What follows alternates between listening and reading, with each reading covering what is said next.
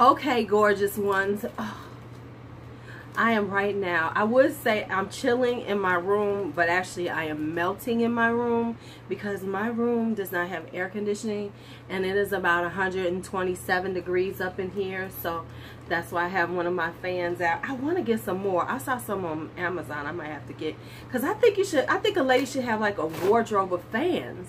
So like when you feel it, especially as we get older, and we might need, you know, we might be feeling our own private summertime.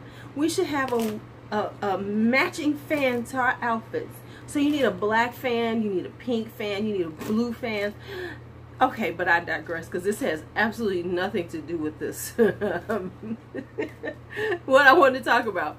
Okay, so yeah, I know, I know. I know I need to put on some makeup. I know I'm a little like, I have that natural glow, also known as sweat. But anyway, what I wanted to talk about was I've been thinking about it because you know we talk about the big YouTubers we talk about things on my channel but because I am all over and watching a lot of beauty videos especially smaller channels there's a few things that I think you all need to do. And I think that we as smaller YouTubers I'm about to call us all out. I try to be better at this and I'm sure there's some things and what I would like to do is hear some dialogue especially from viewers. Because a lot of us are you know creators and viewers but there's just viewers. And you all have some thoughts about these things too. So um, what I want to talk about is the, the mistakes we make as small YouTubers and why don't complain about growth and why if you're not handling your business so let's talk about some things that we do as small YouTubers, especially in the beauty community that I deal with, um, that maybe we should try to change and be different about. Okay, I'll be back. Okay, so before I even get started, since I got my fan out, you know what else I've been looking at? Parasols. I want really cute, like little, you know, to keep the, the shade off, the sun off of me. You know, I'm, you know, because I have always been a sun lover because I'm, you know, I'm kind of a pale person and I do like to have a little color in the summertime. But, you know, it's really not good for you. But what I want is some parasols. So I, but I, okay, let me go back to what I'm talking about. I am so on this right now. I've been looking at parasols and fans. All right, let's go forward. Okay. So let's talk about some things I have noticed when it comes to small YouTube channels in the beauty community. I'm not talking about other communities because I don't care about them. I care, care about my beauty people. And I want us all to grow and everything. So here's some things that I want to just say to you all.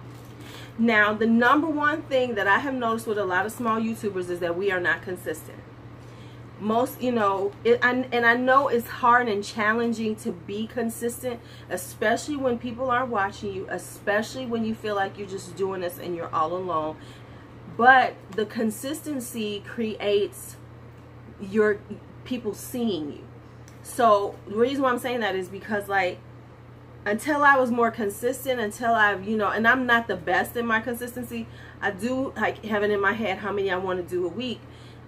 Um, but by me being consistent on some levels it, it allows me to create the community feeling and things that like that. Now am i growing as fast as i would like? Hell no! I would like to be in like 5000 subscribers right now but i'm not. But i do see growth. And so i'm comfortable with that and i'm okay with it. And it will grow the way it's supposed to so i'm not tripping. But i would like a big huge surge of growth but that's not another conversation but anyway, number two I've been thinking about. Now, when I go on and use my laptop and I'm watching videos, I have certain, you know, programs on there, extension programs to help me out. And it also shows things that are on your pro on your channels. And what I have noticed is that quite a few of you all do not tag your videos. You don't tag them or you don't tag them that well. So what I'm going to tell you right now is that tagging is important. I'm not saying, but I've found that as I tag it better, as I get refine my tags, if I add more tags, if I really, really look at it from that standpoint, that I do get more and get more, you know, people to see it, to view it. And it does come up in recommendations a little more. So it's important that you tag well. Now, let me tell you this. If you if you really want to learn how to tag well and things like that, get either TubeBuddy or vidIQ. I'm saying that because I use TubeBuddy. I've just gotten into vidIQ. I'm trying to decide if I'm going to use that one because it has serious analytics. But if you are serious about growth, I mean, some people just like to do videos. But I'm going to be real with y'all. No, that's not true. We don't want to just be posting up videos and nobody watching them. Whether you want to make this a full-time career or if you just want to have this thing going and, and connect with people, you do want people to see your videos. Because if you didn't, you wouldn't make them public. So I'm saying that to say, make sure you're tagging. Make sure you do the due diligence to make sure that you put your your your things in a space that will help you do that. Like for instance, yes, we know my live streams about Tati was really what really got people started on me, a lot of people to see me. But before then, I had actually started getting a jump based on my eyeshadow collection and I will use and I tagged it really well and I put it out at the time in the beginning of the year and for some reason it just you know people saw it and people liked it and people saw it and people you know and, and so it got a lot of views. And so why I'm saying that is because then that's what you want to do. You want to make sure you're tagging things in a way that you get more views. All right now next up. This is a big pet peeve of mine. As a small YouTuber, I'm going to need y'all to really engage in your comments. I need you all to really you do your com you know comments. Let me be honest. It's not like we getting a lot of comments. You, really, we're not. Because we don't have that many views. So if people comment on your videos, you must interact with them. And let me tell you something the hard the thing that irritates me the most is like if I have left a comment and it's like a week or two later before you all respond to it. Now, I'm to get to give y'all some information. So, and when you do, if you just love my comments but you don't say anything to me, it annoys me. Even if you give it a thumbs up or if you say, yeah, girl, or whatever, you don't have to have a whole conversation with me, but you should at least leave a comment, reply back. And the reason why I say that, and if you know anything about this, and if you are looking at things talking about how to gain followers and keep people watching, that's one of the things they say. You need to reply. You need to, you need to, you know, have some inter exchange with people. And when you're small, it's so easy because you don't have that many comments. Yes, when you become larger and you excuse me, you got thousands of comments, of course, it's hard. That's why you get com moderators and things, things, excuse me. But at our size, you need to engage with your audience.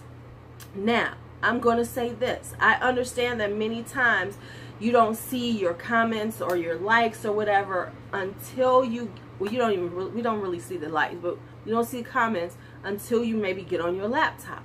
So here's what I'm going to tell you to do. If you have a smartphone, an iPhone, you need to download the YouTube Creator Studio app because it allows you to see your comments and then you can at least answer those on the fly. That way you are engaging with your audience. I always try to make sure that I engage with my audience. Even if it's a thank you very much for your kind words or anything, I at least say something. So just giving me a thumbs up or a heart, I'm sorry, when I only see 10 comments, uh, that's lazy to me. So I'm just telling you all, that's the way I feel as a another creator. So I don't know, viewers, y'all tell me, do y'all feel that way too? Is it just me? Okay. Another thing is, do not, do not come into another person, especially small, you know, we all small, don't come onto my videos and then leave me that little snarky little thing about, hey, so let's sub back and support each other. You're not watching my videos, because let me give y'all a little hint. If you subscribe to my channel and then I see, and when I can, and if you have your, your thing public so I can see that you subscribe to me, then I will go and I see that you have, you know, subscribers. I always go and view when I have time. I view those those and see, oh, okay, cool. I, they're doing something let me subscribe back let me give them some support because they you know are on mine. And especially if you like have conversation with me you know we exchange you you leave comments and stuff. And then i find out that you have one i'm definitely going to subscribe to you. And if you know me well i'm gonna like you know be like hey let's do this. Hey you know support you. Yes you do this. And that so don't be leaving me that. Don't like the very first time you because i'm not going to respond. I'm not going to subscribe to you and i'm not going to support you and you don't have to subscribe to me. I'm good with that. Now the next thing i'm going to say if you're a small youtuber and i know this is hard for some people but i think you should do some live streams you need to push out. That is a, such an easy way to engage with your audience and to get people to see you that might not see you because especially if you put in the location, your city, people can see you based on your city and things and you just come up a little more in the in the feeds the recommendations because you're live so therefore and if people are coming on and it is a great way to grow your channel because listen, you come on my live streams, I am one to watch you. So if you say you're going live and I subscribe, I will, if I see you live, I am going to come in your live. I'm going to say, hey, how you doing? I support, I try to be as supportive as I can to other people. And it is a great way to grow your channel. So whether or not, listen, you're willing to get in front of this camera and do it, go ahead and be okay with going live. Now, you don't have to be like me and just be all over the place, but you can have a, specific conversation you want to have and have your talking points or whatever. And but understand this is a great way to engage and and the, the engagement is is real time, which means that the people will like it more because they they get to see you as a person. And we need that when we're smaller cuz you know, we don't have the great production value we don't have the PR coming in. We are just doing our thing in our way. And so it's a good thing to go ahead and do this. So I'm just telling y'all, this is good. Try it out. I promise it won't hurt you. I promise. Hold on, I got another one. Okay, and so now let me say this is for small YouTubers of all sizes. Because, you know, the one um, here's what I don't like to hear, and I in the, the in the conversation is, oh, you know, I would never do that as a large YouTuber. I mean, listen, let me tell you something. This is business, and when this becomes your full time job, and you're doing other things, and you're trying to create more revenue streams because you don't know how long this will last, your popularity will last. Don't make those statements. Don't don't down people for their hustle, because this is a hustle and you're trying to hustle too. So don't make those little snarky comments and let's all get off of the PR conversation. Let's all get off of the PR conversation telling them that you don't want you don't because let's be honest we all want some fucking pr if we're doing beauty videos we want pr because it does so it could stop being in our pocket how much we want this makeup that we want so let's stop acting like we don't and let's stop condemning YouTubers for getting the PR. Because ultimately, that's a perk of it. Because there's so much time that we spend in so much money and put, investing so much into this business that we are creating that that's just one of the perks is like, yes, I don't have to buy all this because I'm getting it. And I can talk about it. Now, yes, I do have some things I say about PR, which is, you know, don't do those PR hauls and then we never see the stuff again. I get that. I get the things about that. Be honest about PR and be, you know, that you're getting PR and that, you know, and, and let's stop acting like because a person gets PR and they like something and they happen to like things from a brand that they're lying. Maybe they just like the fucking brand. Maybe they just like the products. Who knows? But let's get off this this thing that unless you're paying for it, you, you're not honest. Let me tell you something. Many people are honest and they stay honest. And so that, you know, come on now. We have to stop that conversation. And if people are doing that, then just leave them alone. If you know if you feel like they're being disingenuous, if you feel like they're lying, if you feel like they're hawking for, you know, PR and not being honest, then leave them alone. But understand that stop saying that, you know, YouTubers can't do sponsored videos. They can't do this. How do you propose they pay? How do you propose they make this into a living? How do you propose they become 100% doing this? Why is my thing on all my, do y'all see the shade on my, my lamp shade? It's crooked. It's about, I just noticed that. I'm so sorry for all my OCD people. I'm going to fix that, but I didn't know it was like that. But anyway, I pushed it up against the wall because it was I was hot. So um anyway, don't do that. Because there's going to come a time if you become larger that you're going to get approached for sponsored videos. And you're going to want to make the money to make this as a living. Because guess what? If I can make this as my living and do the things I want and enjoy beautiful makeup and share it with the people that I talk to on here then and do some sponsored videos to help support me doing that then I'm going to do that. Now is it going to be that I'm going to lie for a brand no because that's not my style. If I don't like your shit, I don't like you. I, it's not going to happen. But you just have to understand that it's part of the nature of business.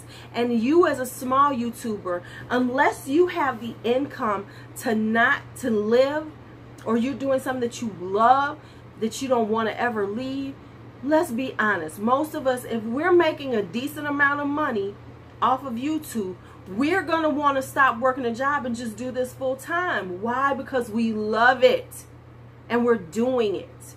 So stop that conversation. Stop it now because you're going to have to backpedal when you start doing when you when you get bigger. Just telling you the truth. Telling you the truth. Y'all know that's what I do. I tell y'all the truth. But anyway, I think that's all I have to say for my small YouTubers. And these things go for me. I'm not saying so. I, I do try to do the things that I'm saying. And I do feel that they are helping me, if not growing me so fast, at least my my subscribers are engaging with me and they and they're part and they watch me and, and we have conversation. So that's the thing that you want to create you know the views and the subscribers will come but the ones that you have you must nurture them and make them feel like you even care about them watching your shit. So let's do better with that small youtubers especially and i'm gonna say us micro youtubers because we micro youtubers at this point because we ain't even got 10,000 subs. So we are micro a motherfucker. And finally share each other out share each other out. I want to create a support thing where whenever we do a video, we put in the cards channels that we love and I think I'm going to start doing that with my people where we will put each other's channels so people can see them. That's number one. Collab, collab, collab, collab. Be willing to do collabs and in the beauty community do tags because people watch tags and they like them so do a few tags here and there just to help. If the, if the tag sounds interesting to you, do it. Because so oftentimes we don't do these things because we don't think anybody's going to watch them. And that's how people find you. Okay, so I'm done. I'm done. I'm officially done. All right, that's it. That's all. I think I'm done with this YouTube, small YouTuber, small micro YouTuber rant for you all. And oh, please Tell me what you think. If you have any, as viewers or, or other, you know, viewers, tell me your thoughts on this subject. Do you have any things that you, like the smaller YouTubers need to be doing better or aren't doing, aren't doing at all? Things like that. Say that in there in the comments. Give me a thumbs up if you like it. And if you are a small YouTuber, make sure you comment in here that you are a small YouTuber and you are ready to grow. Tell me some stuff about you. I want to hear. But don't just throw in, hey, support me, because I'm not gonna do that if you if I, if this all this the fucking first time you ever come on my channel. All right, y'all. Get your LuuLuu. Be bold. Be brave. Be fearless. Be free. Be cool. See you later.